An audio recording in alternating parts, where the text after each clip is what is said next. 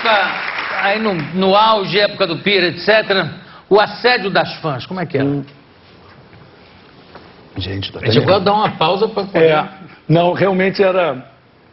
Era muito. é. Depois do Pierre até, né? Porque no Pierre, assim, a gente ainda era todo mundo conhecido, a galera, coisa e tal, ficava ali. E era assim, o assédio era. A Andréia muito... tá na plateia, por acaso? Sua mulher tá, Tá, aqui? tá. É, então não pode. Cadê? É. Onde é que ela tá? É que nessa época ela era pequenininha. É, ela era, ela era de menor. É.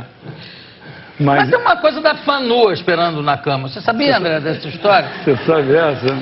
Não, tem, não tem essa história? Tem, tem essa Como história. é que é isso? Essa Mas história você até- imediatamente saiu, não, Não, não, exatamente. Foi assim, vou contar. põe a roupa. É, porque ela era assim, eu ia muito num lugar, sabe?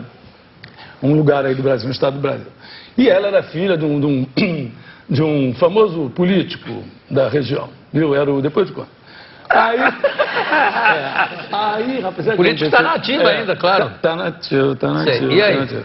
E ela era pequena, ela era pequena, foi crescendo, né? Foi crescendo, foi ficando crescendo.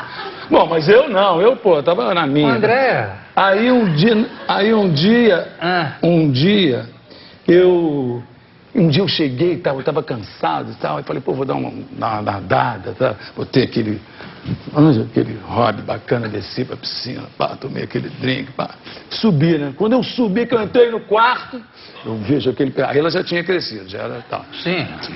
Aí tava aquilo tudo deitado, um espetáculo, peladinho. Aí eu olhei e falei, que isso? Que isso? Como é que entra aqui no meu quarto? Que isso? Que isso? Que isso? Que, que isso? Que